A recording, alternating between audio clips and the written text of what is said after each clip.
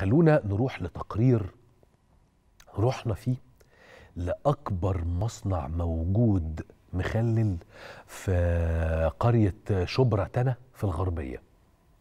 تيجي تقولي تقرير على مصنع المخلل أقول لك آه. ليه بقى؟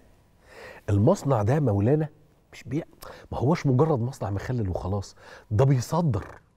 أنا أول مرة أعرف والله العظيم بكلمك بجد. لحد ما عرفت المعلومة وشفنا التقرير إن إحنا في عندنا مصنع بيصدر مخلل والله العظيم ما كنت أعرف. وانبسطت. ليه؟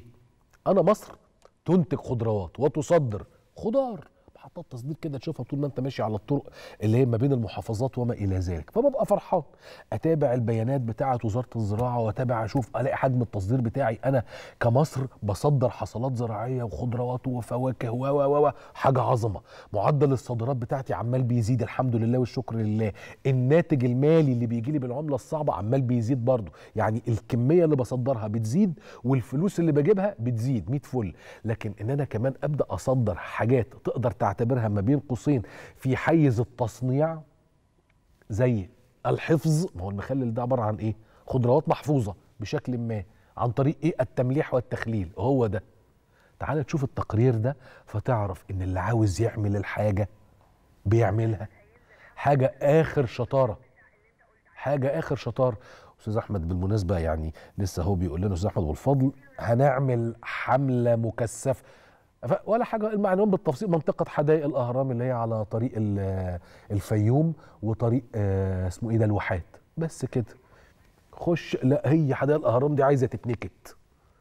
ده إحنا ثلاث نواب بنشتغل على حدائق الأهرام مش عارفين نلمها منين ولا منين. معلش أنا آسف إن أنا بتكلم على موضوع نواب مجلس النواب يعني. أنا هنا بشتغل مذيع بس مش عارفين نلم من فين ولا من فين. شركة الوطنية نزلت. عندها هناك أكتر من منفذ. أمان عندها هناك أكتر من منفذ. حلو؟ التجار غتتة أنا بقول لك أهو غتتة وعينيهم قد كده. غتتة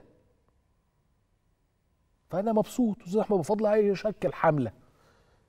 إلى تجار حدائق الأهرام. يعني أرجوك لا تتناول هذا الدواء. الدواء بتاع الزيادات السعرية غير المبررة. شده الحيل على الناس. الناس على باب الله يا عم خف واحدة واحدة مش كده؟ أهو التموين نازلة لكم. وبالمناسبة هتنزل كل شوية كل شوية. فيا تلم يا هتتلم. أنت حر. خلوني أرجع بس على تصدير المخلل. دي حكاية حلوة جدا. أه والله. بنصدر مخلل. طب تعال نشوف المصنع ده. وتعرف إنه اللي عاوز يشتغل بيشتغل اللي عاوز يكبر بيكبر اللي عاوز يصدر للعالم هيصدر. اتفرج على التقرير.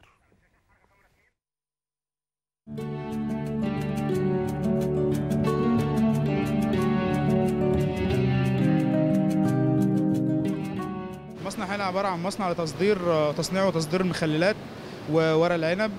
أول حاجة بنستلم مز- الزروع من مزرعة مسجلة في هيئة سلامة الغذاء. بعد كده بيتم عمل عملية غسيل للزرع. بعد كده بنعمل عم- محلول الحفظ للزروع دي. بعد كده بيتم وضع الزروع ديت في براميل الخاصة بيها وبنحط عليها محلول الحفظ بتاعها. بعد كده بنبدأ إن إحنا نحطها في المخزن الخاص بالمصنع عندنا هنا وبيتم المتابعة وتفتيح البراميل دي كلها على فترات متقاربة جدا يعني خلال عدة أيام. وبنعمل على تزويدها بالمحلول الملحي وبنعمل برضو إن إحنا نقيسها بالبي إتش نقيس البي إتش ونقيس الملح بتاعها. بعد ما المنتج بتاعنا هنا بيكون اتفرز بنستلم إحنا من مرحلة الفرز للغسيل. بن بن- بنقلب البراميل هنا في حوض في حوض الغسيل. بعد كده بيتغسل كويس جدا ويمر مرة كمان مرحلة كمان على مر على الفرز مرة كمان بنتأكد إن إحنا شلنا كل حاجة. بعد كده بنيجي لمرحله الميزانة. ونقفل الجردل كويس نتأكد إن الجردل ما يكونش فيه أي ثقوب ولا أي حاجة تدخل هواء ويسبب بعد كده بكتيريا لل- للمنتج بتاعي. بنقفل الجردل تمام ونطلع بعد كده المرحلة اللي بعدها.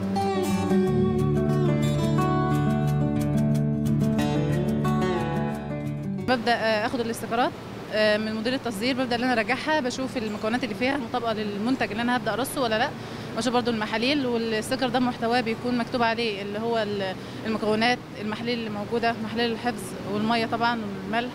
آه، وبقى في برضو الإنتاج تاريخ الإنتاج والانتهاء. ده طبعا مهم جدا رقم التشغيلة المكونات الغذائية جدول القيم الغذائية لازم يبقى موجود. آه، ده كله بقى محتوى ال sticker. بعد كده بقى أول حاجة اللي إحنا خلاص اتاكدنا من ده كله بنبدأ اللي إحنا نبدأ آه، نرص الباليتا. بنحط الباليتا عادي بنبدأ رص الجرادل تلزيق استيكرات وهكذا ابلكاش جرادل وموجود بره يعني. أنا هنا بقالي سنة ونص تقريبا. باجي هنا الصبح بخش الأول على التعقيم والتطهير والحاجات دي وبخش على الفراز حسب المنتج اللي بيجي لي بشتغله زي ما أنت شايف كده سواء كانت شطة أو ليمون أو زيتون أو أي منتج.